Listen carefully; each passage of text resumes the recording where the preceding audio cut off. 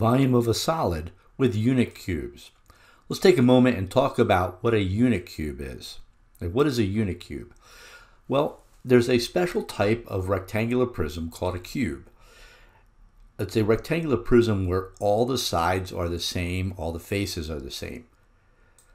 So if I take a look at a cube, a unit cube has a measurement of all ones. So the length of a unit cube is one unit, the width of a unit cube is one unit, and the height of a unit cube is one unit.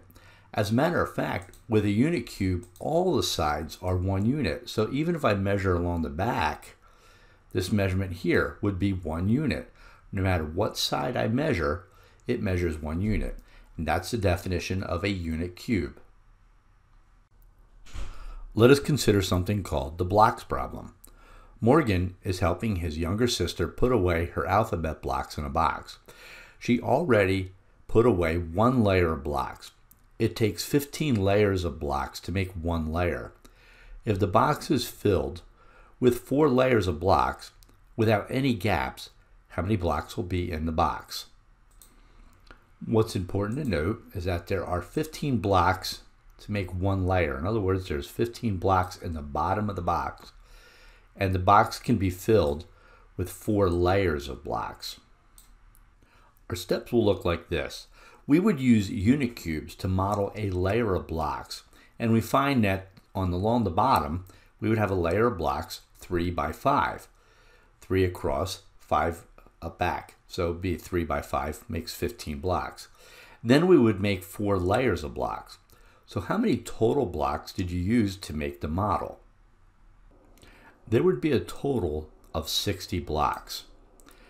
Did you notice that the total number of blocks can be found by multiplying the initial 15 blocks in the first layer times the number of layers, or even if you broke it down further, if you went 3 times 5 times 4, that would also equal 60.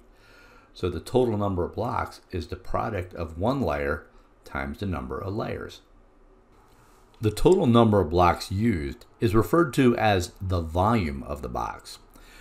This box is called a three-dimensional or 3D figure, or a three-dimensional 3D solid is another way to refer to it. A three-dimensional figure has a length, width, and a height.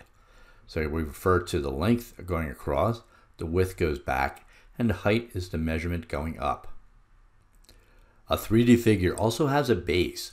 The rectangle on the bottom here is referred to as the base of this prism. I want to point out that the base has a measurement of a length and a width.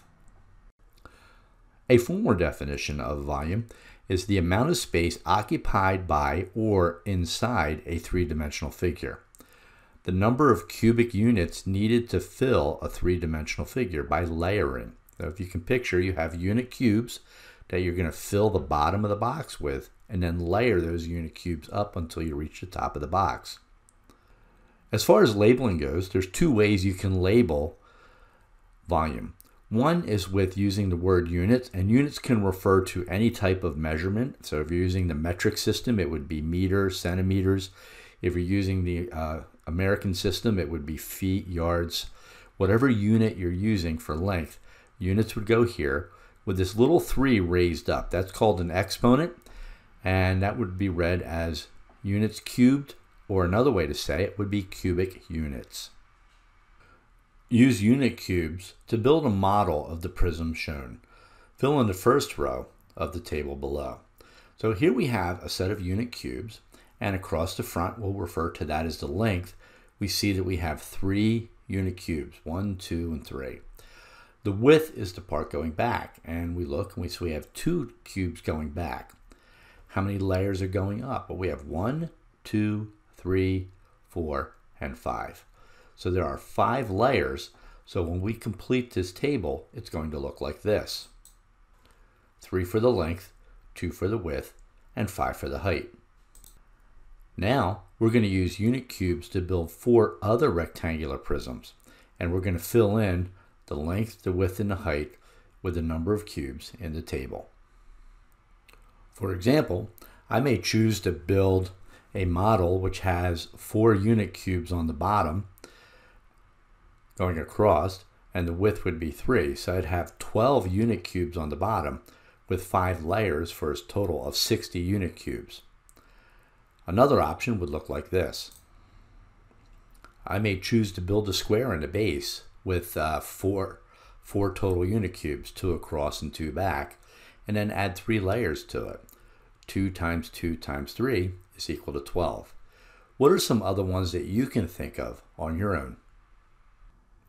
This screen may look slightly different than the one you're viewing on the presentation. That's because I have these shades covering up numbers here. You would just have a plain white background.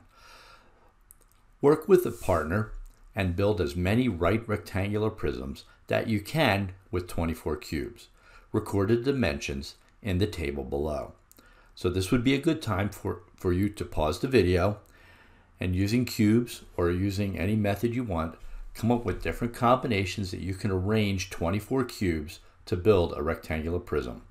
Pause the video now, and then after you complete it, restart it to see the answers. I trust that you had done the work yourself.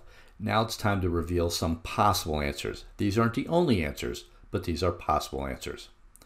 So you could have a length of 1, a width of 1, and a height of 24.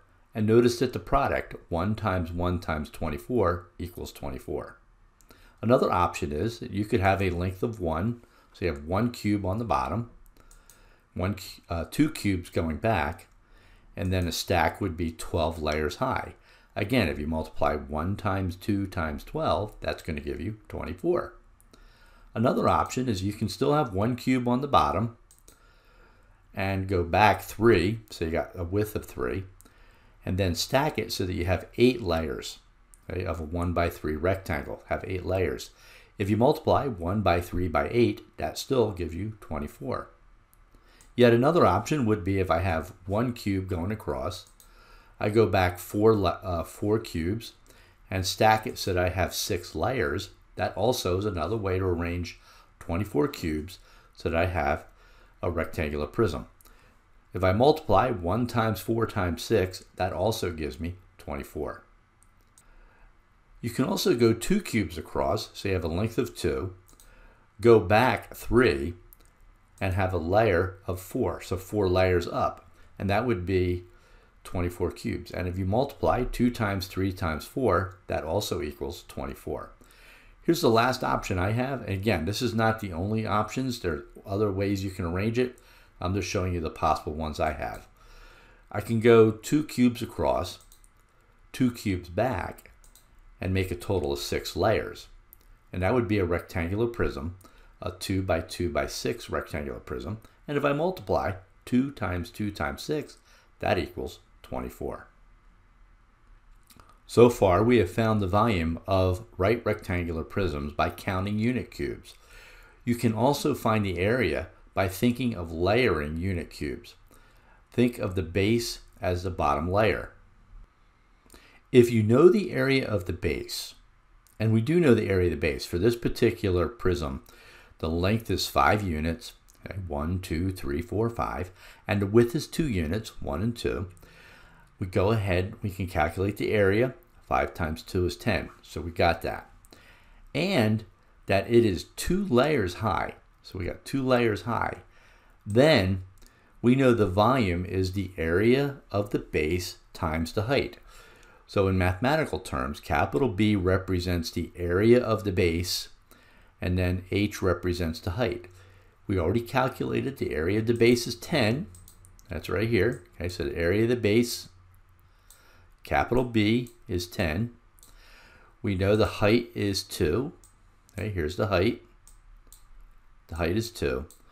So we find out that the volume is 2 times 10. Oh, so I said that backwards. 10 times 2, or 20 cubic units.